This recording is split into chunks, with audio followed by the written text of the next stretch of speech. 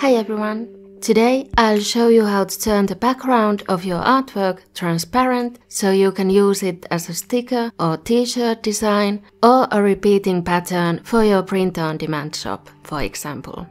I'll be using Photoshop CC 2020 to do this and if you don't have Photoshop, you can start a free 7-day trial which you can cancel anytime during those 7 days for free. They also have student discounts and other offers if you want to buy a Photoshop subscription. I'll link those below in the description or somewhere on the video. And full disclaimer, they are affiliate links. In last week's video, I showed you how to edit a scanned or photographed artwork by adjusting the contrast, sharpness, saturation, fixing small mistakes, and cropping the art. So that's where we are picking up from. So I'm opening this edited scan of my bird oil painting in Photoshop to show you one way to remove the background. We'll use the quick select tool, so let's choose that from the left toolbar. Make sure the edge detection is checked and you can also change the brush size, make it smaller if you want a more precise edge. Also notice the three different brush icons in the top bar. I have the Add to Selection one chosen, but you might have the first one chosen, which means Create New Selection, and that's fine too.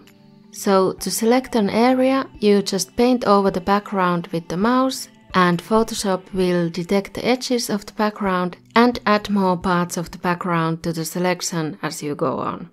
If you have a clear difference between the background and the foreground, your selection might be perfect, but mine isn't. Some areas that I want to keep were added to the selection that I'll be removing later, so to deselect those you can either press Alt while painting with the mouse or click the deselect icon in the top bar, which is the brush with the minus sign. I'm going back and forth between selecting and deselecting to get the tail of the bird and the whole branch out of the selection.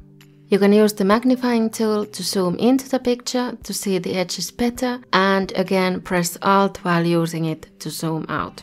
When you're happy with the selection, let's remove the background. To create a transparent layer under the image, I'll right click on the image layer in the Layers tab and choose Duplicate Layer. Click OK and then click the eye icon of the bottom layer to hide it. This creates a transparent layer. Now make sure you have the top layer selected and then press Ctrl X to remove the background you selected with the quick select tool. And you can undo with Ctrl Z if you need to. For a traditional painting like this, the result is pretty jagged, so I'll show you how to use the eraser tool to fix it up more. You'll see the edges better and can check for any rogue leftover pixels by adding a solid color background. Add new layer from the plus sign in the down bar and then color it by selecting the color in the color picker. I'll use a black background because the image is quite light, but just use a contrasting color compared to your image. Then go to Edit, Fill, Foreground Color. Now you can see the edges better and mine do not look good. Select the eraser brush from the left toolbar and set the brush size and hardness. I'm making the size kind of small and using a hard brush. Now I'm just smoothing out the edges with the eraser.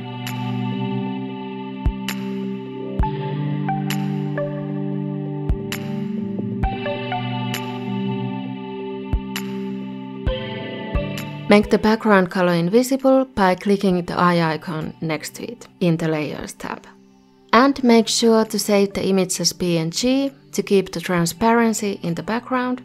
If you save it as JPEG, you'll get a solid color background. It might also be a good idea to save the PSD Photoshop file if you'd like to use the layers later. If you want to learn how to use images with a transparent background to make repeat patterns and stickers for POD sites like Redbubble, stay tuned for my next Photoshop videos. And click on the videos on the screen for more image editing tips. Thanks for watching, bye!